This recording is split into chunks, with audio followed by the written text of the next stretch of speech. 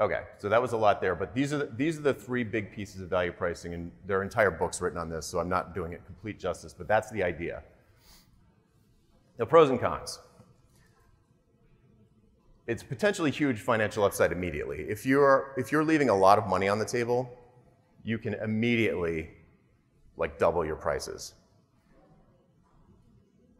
It's much easier to write com- compelling proposals that close.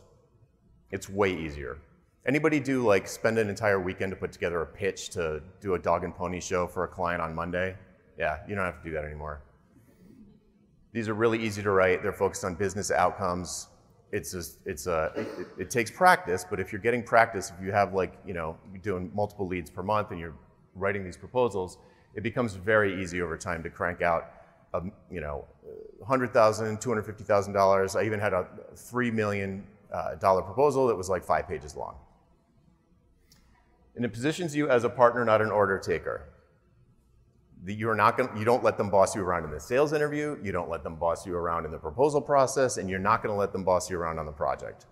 If you think something is going to jeopardize the product project, even though the client wants it, you're going to say no. Because you're there in their best interest. You're acting in their best interest. The cons for value pricing are that it requires a complete mind shift. In, in my experience, even when you think you've done it, you're still doing cost plus.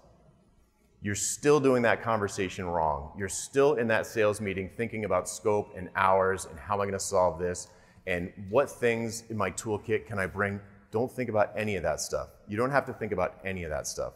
You're worried, you're there to, to diagnose the client's situation, decide if their self diagnosis was a good one or a bad one takes a lot of practice. It, it, it took, I mean, it's hard to remember. It probably took me at least a year before I stopped thinking scope in a sales interview. It takes a long time.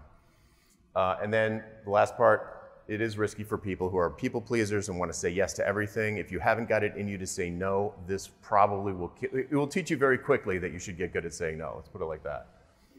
But you do have to control the scope creep. Okay.